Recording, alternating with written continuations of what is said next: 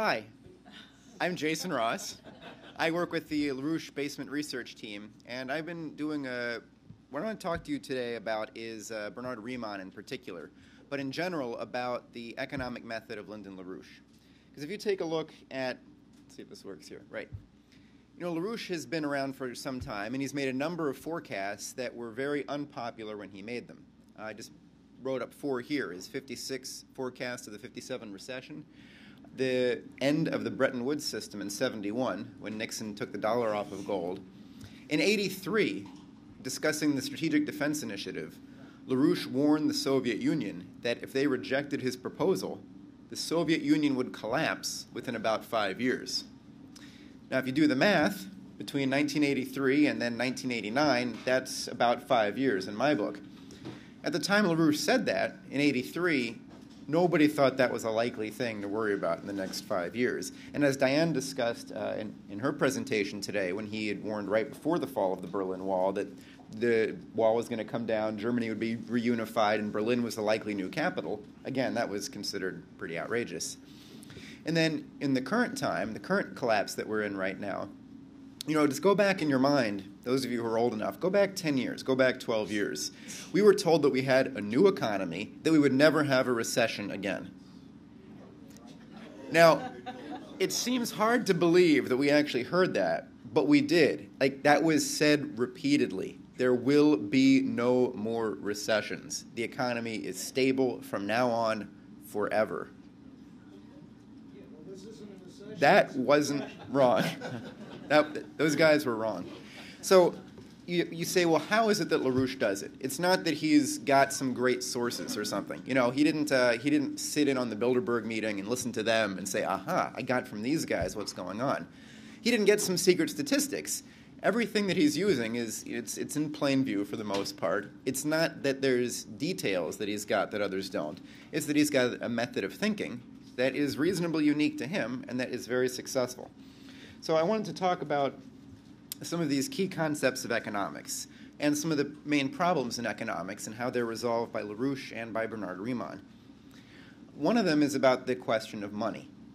We've been talking about this to some degree today. There are some people who say that we should tie money to something solid, like gold or silver, because right now you can just print as much of it as you want and make the currency worthless. So some people say, like some Ron Paul supporters would tell you that if we had a, a dollar that was connected to gold or silver, we'd be fine. Because gold and silver, the value of them doesn't change. well, it, it, seems a little bit silly to tie your economy to a piece of metal because, as we're going to get into, value isn't something that can be measured in terms of the present, but only in terms of the future. Take anything in an economy. Uh, LaRouche, in his economics textbook, used the example of a car repair, like an oil change. He said you could do the same oil repair on the car of somebody, you know, a NAWAPA worker, or you could do the same oil change on a car that belongs to a pimp. The value of the oil change is different. And it's not because one of them had a coupon. What does value mean? Think about your use of the word value outside of economics. Think about the values that you hold, the values you cherish, human values, etc. They're, they're all about a desired way that you want things to be, what you think ought to be right, what you think would be good. So in economics, it's the same thing. You don't divorce it.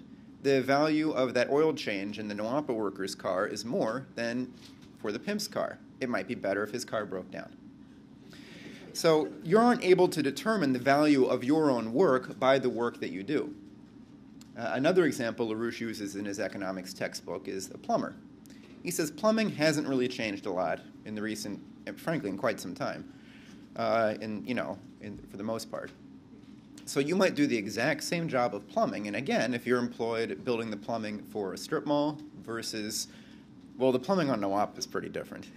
but let's say you're even just, you know, you're plumbing the, uh, you know, the, the, uh, the water system in the control center, just normal plumbing in that building. Again, the value of your work, even though it's the same, is different because you've been hired as part of a project that extends beyond generations and provides a lasting benefit for the human species. You didn't do anything differently, perhaps, but the value of your own life wasn't determined only by what you did with your life. It's determined by the context that you find yourself in. And that goes for everybody. You don't get to determine, in terms of what you do on a day to day level in that respect, you don't get to determine the value of your own life. You are accountable for history, and what you do is shaped by the context that you find yourself in. However, we are able to change that context, and that's when you're really most yourself. So the problem then with money, you know, trying to measure an economy with money, is that I'll, give you one for example. This is a common one, is the Apollo program. So the uh, when we went to the moon, it cost a lot of money. The payback definitely wasn't direct. Uh, the NAWAPA program will be selling water. It will be selling electricity. You know, unless you want to sell ad space on the moon, there's no direct monetary input coming to NASA from the Apollo mission. However, as everybody is, I'm sure, familiar, all of the spin off technologies that came from going to the moon, things like medical technologies, satellite imaging, etc., those have a value that it's much greater than the investment in going to the moon, but more importantly, it's different. Let's try to measure them in dollars. We can measure the dollars that it costs to go to the moon. NASA has a budget you can go through it, you can get a very definite cost. People have tried to estimate the benefits of going to the moon in dollars, and they came up with a, a rough estimate in dollar value of what the benefits were that came to us by the technologies that we got from going to the moon. You might object to the number that they arrived at, but I'd look at something more important. Those dollars that were used, are they the same dollars?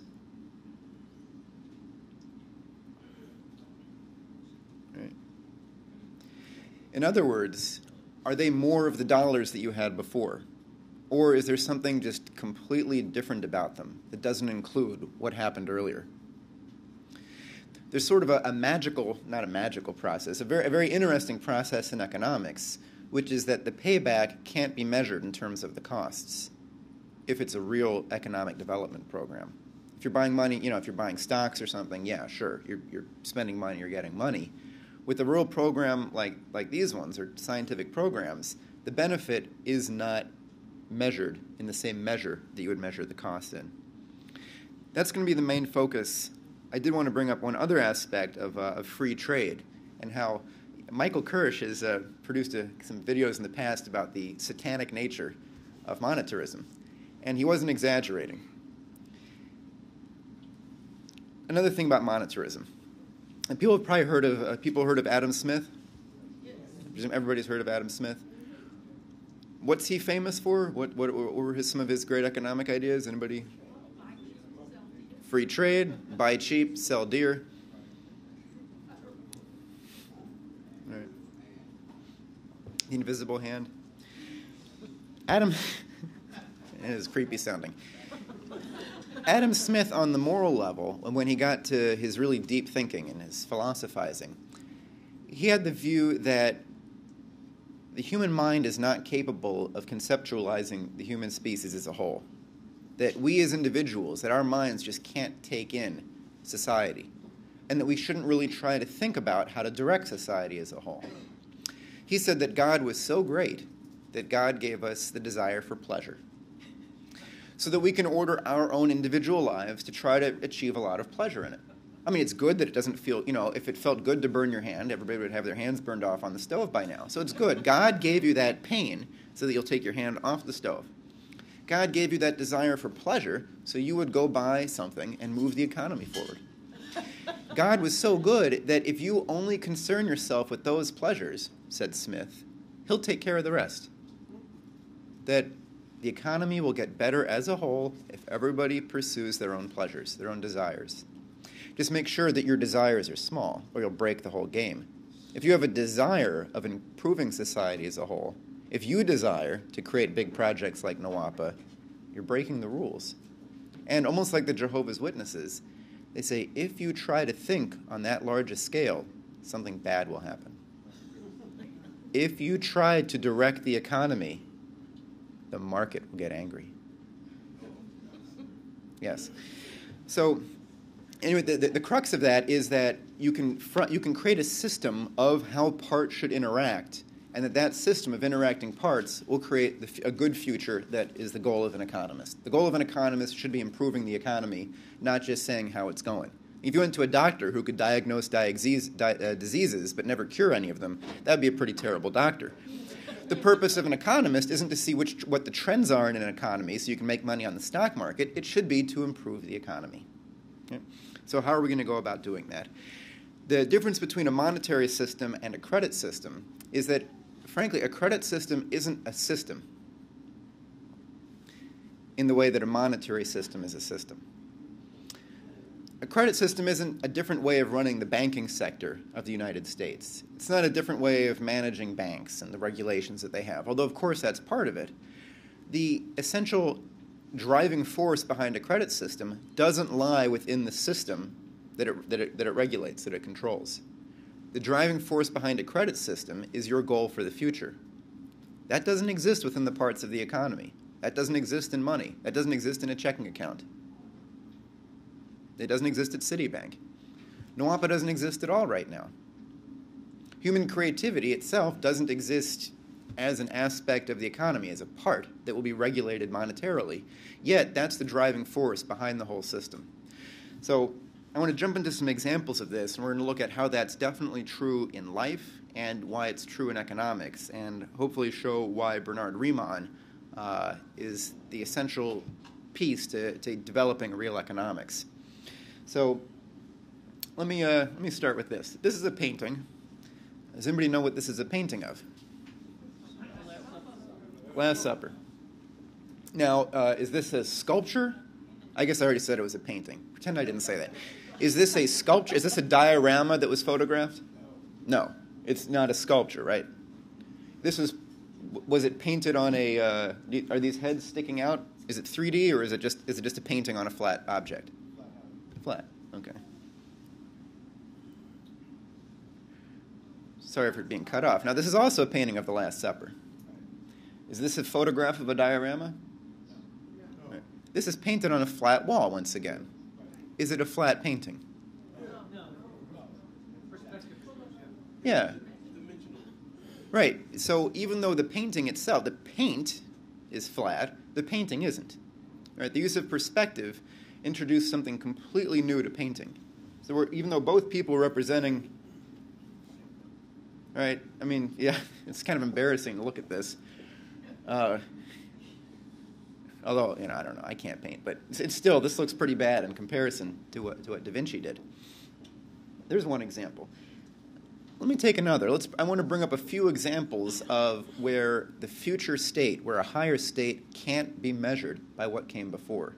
Here, the third dimension in this painting can't be measured by the paint, can't be measured by the flatness, as it was in the earlier, very flat looking painting. Here are some gears. I want to show you a machine that could have made them.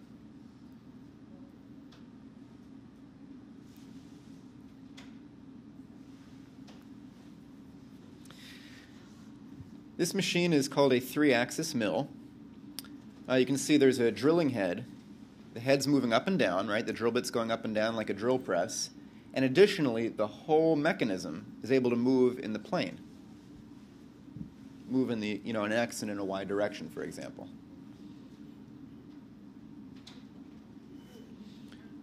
So it's called a three axis mill because there's three independent modes of action on this machine.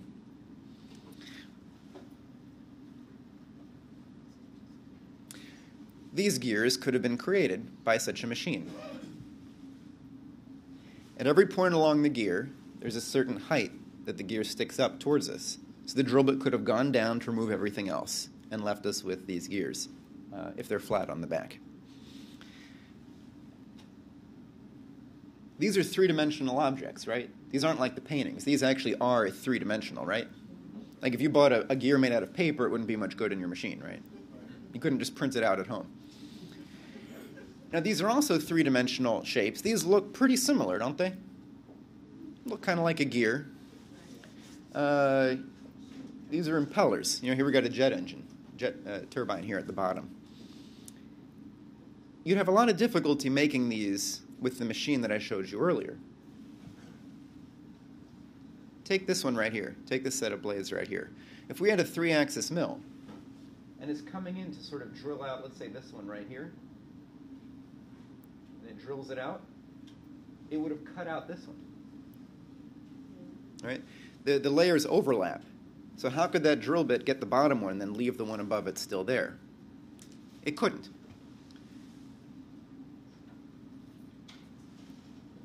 Oops. All right, this is a five-axis mill.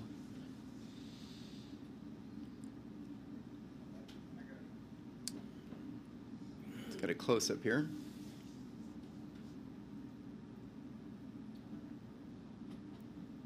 Okay, so like before, the cutting head, as you can see, it you know it can move around in the plane x, y. It can also move up and down. Let's keep watching it to see what else this machine does.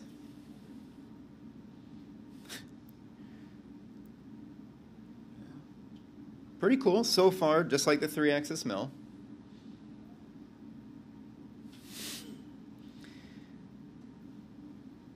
Still pretty similar. The camera moving does not count.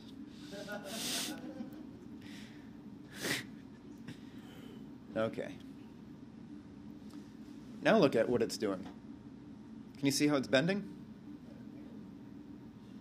It's actually tilting the whole head, right?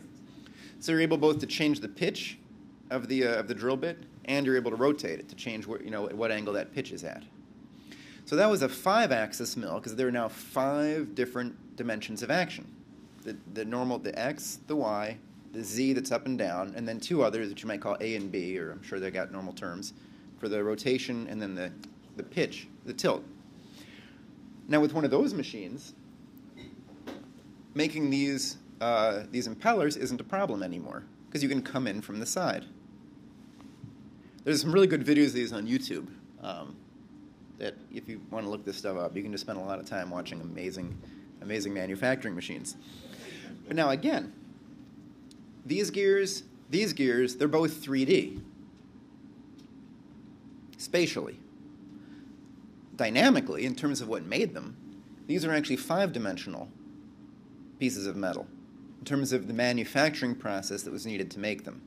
So they're not spatially five-dimensional, but you need a machine of five-dimensional complexity before they could be made.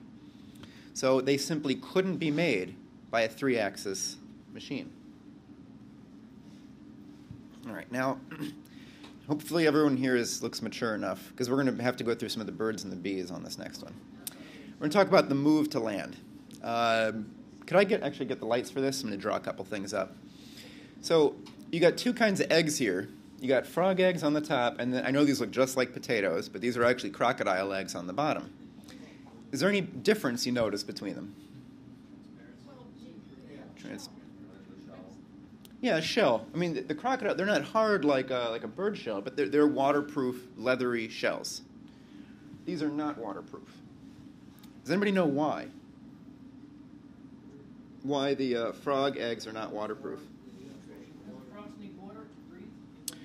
Well, they need water for more than breathing.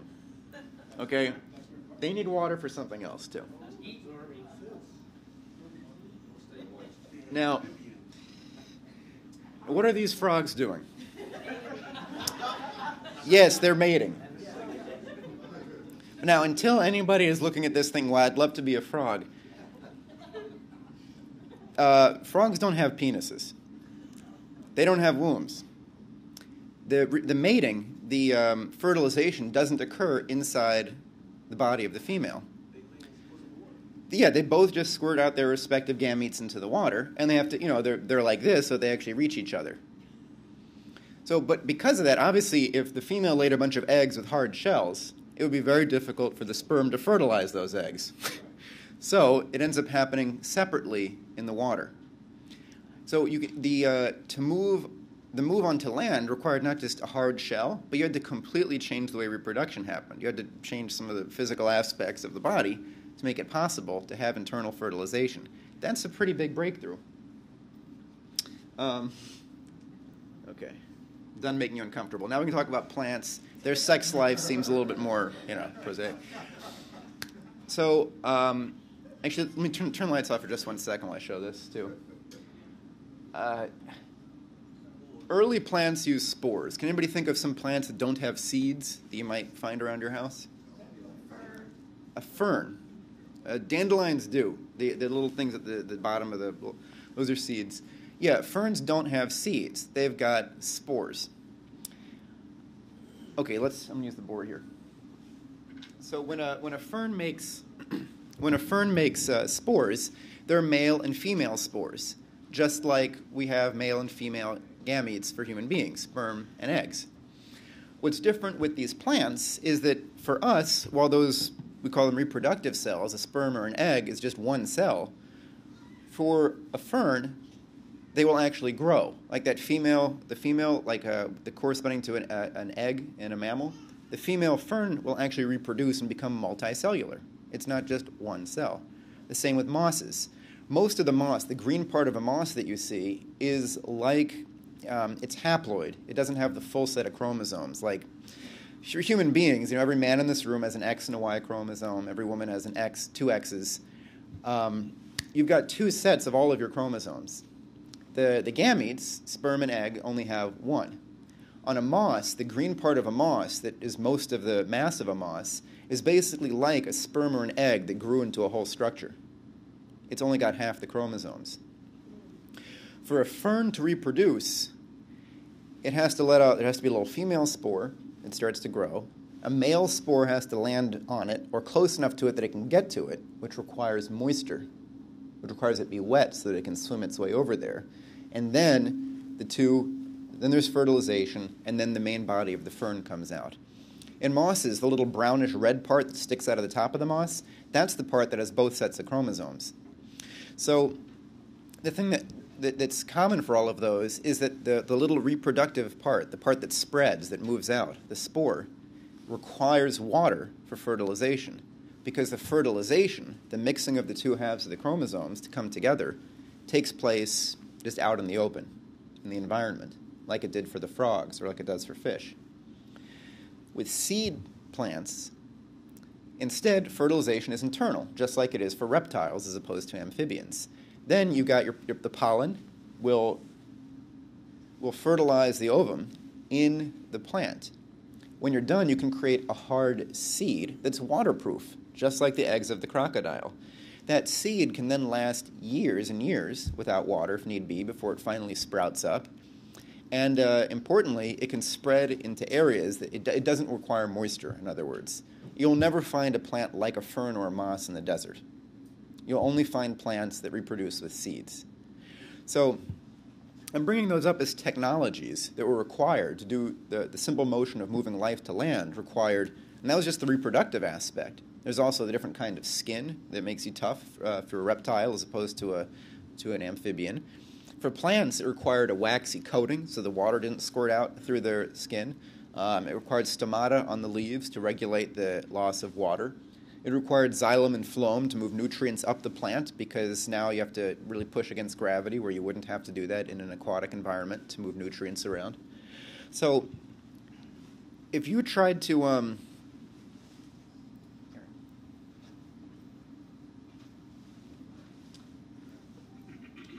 Okay. These two dogs. One of them is larger than the other there's a bunch of measurements you could make about the two dogs. And if you adjusted those measurements, you could turn the baby dog into the adult dog, right? The puppy into the adult. And they both got heads, you know, the, you know, generally puppies or kittens have got big eyes compared to the size of their head. Their heads are big, which makes them cute. You know, people who study these things, you know, the cuteness factors. So you could sort of numerically tra- compare the puppy and the adult. You can't do that with the land and the water-based life because those new the, those new reproductive technologies, the new uh, the the cuticle for the plants, the xylem, they're not quantitatively different than what came before. Take this animal.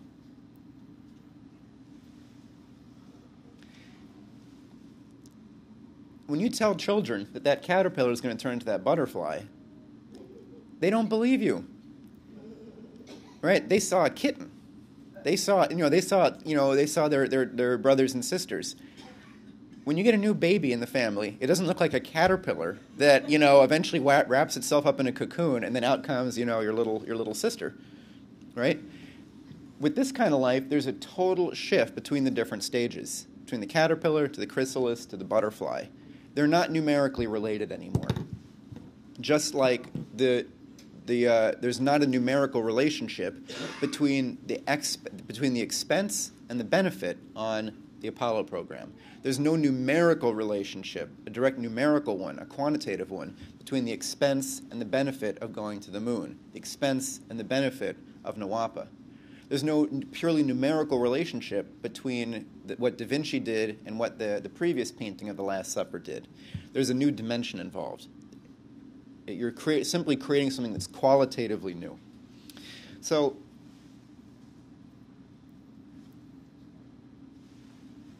I want to come back to what Ben was discussing with the, with the cones, with the, uh, with the evolution of life. This is something we've been using on the website in the past few months uh, in discussions of evolution to make it clear that, yes, although there are, for example, these extinction events, at the Cretaceous Tertiary extinction, most species of life on the Earth disappeared. At the PT extinction, even more species of life disappeared. That at these times where life overall is improving, qualitatively, most things die out. Here you see it in a, in a fun way. This is the, uh, the thing that Ben had used earlier of motile, or you know, able to move on their own, versus non motile animals, like a uh, barnacle or something like that. You see, overall, there's an increase in mobility but how does that increase occur? There's definite jumps, right? There's an overall motility ratio during the Mesozoic, and boom, it's just different in the Cenozoic. So, although the number, you might measure percentage, etc., yes, it did change. What really made the change wasn't the number that you end up measuring there's a different quality of, of action in the higher forms of life. So let me take a look at, uh, let's, let's think about Riemann on this. Um, Bernard Riemann, people, most people are usually not familiar with him before encountering the works of Lyndon LaRouche, or maybe you heard of Riemann sums in calculus class, and that was about it. He didn't live too long. It says up here 1826 to 1866. Not a long life. It's the middle of the 19th century he made profound breakthroughs on the nature of space and on the nature of non quantitative jumps. They're called transcendentals, to use the language of mathematics. And I want to discuss a couple aspects of that here and also let you know about where to go for more, because uh, there's a lot to say on it. So this is the uh, this has just got launched by LaRouche PAC uh, yesterday, actually. This is the Riemann project, and it's a report that goes through um, the aspects just discussed the jumps and then context uh, from the standpoint of Riemann's work. So, as one example of it, I want to ask about, about space. And I don't mean outer space, but I mean the space that things exist in. Like, people can imagine time going on, even if nothing much happens. Like, if you're just watching something really boring on television and a half hour goes by, a half hour still went by. It's over. You're not getting that back, right? Even if nothing much happened during that half hour. If you do a lot and you're very productive in half an hour, you'd still say, well, half an hour went by. The clock ticked as many times. You know, the hour hand moved a little bit. You know, the other hand went halfway around the clock. A half an hour uh, has passed. In the same way, you could talk about space as being just where things are. Like people would say that we all exist in space. We're in this, this room maybe defines as space. It's like a big box, and we've all got positions in this room. They're all different. I don't think anybody's sitting on anybody's lap in here, right? We all have different positions in the room. What Riemann did was to look at the incredible assumptions people made about that space itself. Because let me, let me ask you something about, uh, about land area. Let's say that your job is you mow lawns and there's two people on your, uh, your neighborhood, and they both want to get their lawn mowed. And both lots are one acre large. And they're just grass. Do they necessarily have the same amount of grass? How could they not? Hmm? What now? I'm sorry. Th- these people also don't have houses. They just, I should have. These are actually, yeah, these are ants hiring you to mow their lawn. So they just live in the dirt. Shape of the land. Shape of the land. How's that? Hills. Yeah, elevation. Right. Let's say these are side views of the two plots of land. An acre measures, you know, from the top-down view from a satellite, you know, how many, you know, the size of an acre. However, if you're mowing this lawn, there's obviously a lot more grass involved. There's more surface area. Even though they're still both an acre large, they really don't contain the same amount of surface area. Now, it's easy to imagine surfaces that are curved. Where uh, another thing about this is that people say the circumference of a circle is equal to the diameter times a number that's about three. Well, what if you walked around this hill and then compared that to walking up and over the hill? As opposed to walking in a circle here versus walking straight across it. You're going to find here that the circumference is not three times the diameter. So here, look how long the diameter is compared to the circumference. So a lot of the rules that you would assume about geometry don't work anymore if you're, you know, if you're mowing this lawn, and you might not want to mow this lawn anymore. You're going to charge extra next time. Okay. You know what? I realized an acre isn't an acre. You got me, but you can get someone else to mow your, you know, very steep and dangerous to mow hill there. Well, the same is true for space. The assumption is generally made that space is flat. That if I walked around like this in empty space versus walking straight across, that the difference would be the ratio of 3, of pi. Well, maybe not. What Riemann did was he laid out how spaces can be curved, just like a, uh, a hill or a surface can be curved, and said that the only way you're going to find out how space is curved is not from being a mathematician or a geometer, but from being a physicist. Find out what actually makes things happen, and then that, that'll tell you, that, that'll give you an idea about what shape things have. This is later borne out by Einstein 50 years later. Uh, Einstein's general theory of relativity said that light should bend as it passes by our sun. As uh, the work of Eddington showed, you know, t- taking these photographs of a star uh, of a series of stars taken at one time of the year, and then at the other time of the year when they were right by the sun during an eclipse, so you could actually see the stars that were near the sun, indeed, the position of the stars seemed to change. So, space isn't flat. And that comes up economically in the fact that you don't find value in the things themselves. Like we were talking about earlier, right? The value of the oil change isn't just determined by how great a job you did the oil change, what kind of oil and filter you used. It's also what's the car going to be used for.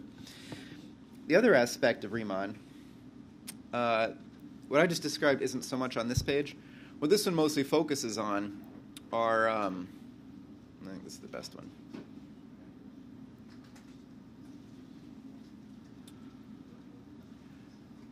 And yeah, I'm only going to be able to touch on some of this stuff briefly, but the whole page is there for you to for you to go through. It's at science.larouchepac.com slash Riemann. He also looked at the, the shape that, um, I'll give you an example of a transcendental. I had used that word before. Da Vinci's painting was transcendental to the flat paintings that had come before it. It had perspective, it had depth. In the same way, things like the square root of 2 that's a that's a number that can't be made as a fraction. It can only be made as an area. The, the, the, page goes through it. Another example would be what you get when you move in a circle. You've got the sine and the cosine. But uh, you can see on the still image, you know, that the sine is the height up to it. The sine and cosine are words that get used to describe the two different ways of moving. You can move by rotating around versus moving by moving along graph paper, x and y. At this position on the circle, we've rotated a certain amount, which you could measure by the actual distance you walk along the circumference. You can also measure that position in terms of the x and the y of getting there. There's no way to express those in terms of each other. From x and y, you cannot describe an angle. From an angle, you cannot describe an x and a y, just like a three axis machine could not make that jet turbine blade. There's, some, there's a higher power that's involved. What Riemann did was he showed how you could look at a series of steps where each one can't be explained in terms of what came before. And I'm, I'm really, to get into that takes more time than I'm going to have today. So I I'm really just going to leave a reference to that and urge you to check out this whole webpage that goes through it. The reason that this is important is as a let me, read this quote from um, from LaRouche from a 1993 paper that he wrote called "On LaRouche's Discovery." Okay, here we have it. Hmm. Okay. So you see it there. LaRouche wrote that the central feature of my original contribution to the Leibniz science of physical economy is the provision of a method for addressing the causal relationship between, on the one side, individuals' contributions to axiomatically revolutionary advances in scientific and analogous forms of knowledge, and, on the other side, consequent increases in the potential population density of corresponding societies. In its application to political economy, my method focuses analysis upon the central role of the following three step sequence. First, axiomatically revolutionary forms of scientific and analogous discovery. Second, consequent advances in machine tool and analogous principles. And finally, consequent advances in the productive powers of labor. These discoveries were originally the outgrowth of 1948 to 52 objections to the inappropriateness of Norbert Wiener's application of statistical information theory to describing both the characteristic distinctions of living processes and of communication of ideas. I countered with a contrary, non statistical definition of negentropy, as the meaning of that term might be derived from the common physically distinguishing characteristic of an evolutionary biosphere. This non statistical counter definition of negentropy was then stated in terms of a successfully self developing physical economy. The efficient impact of scientific discoveries communication within such a negentropic physical economic process was treated as most typical of the communication of ideas in general. That was the initial core of my discovery, up to the year 1952. Yet, up to that point, the appropriate mathematical representation of such a form of physical economic negentropy was still wanted. The third step, taken through an intensive 1952 study of Georg Cantor's 1897 Beiträge, opened the doors of the transfinite domain upon a fresh insight into relevant features of Bernhard Riemann's contributions. Thence, the applied form of my definition of physical economic negentropy acquired the title of LaRouche Riemann method. So the goal of this report here is to go through, actually including Cantor as well, what, why it is that LaRouche would say that given the breakthrough in thinking that he describes in the second paragraph, which sounds very much like Vernadsky, uh, how it is that Riemann helped give a way of representing that idea mathematically.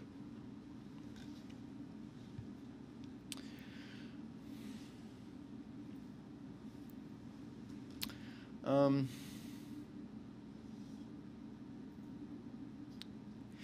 to be honest, let me let me just make sure I'm not leaving anything out. I, I really just wanted to give an overview of that. To be honest. Um,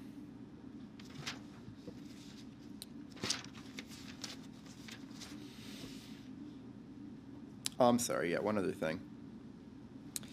The uh, this idea of potential population density. That's an important one. As a as a general concept, people have are you some people here familiar with population density? That's, it's a measure of how stupid people are, right?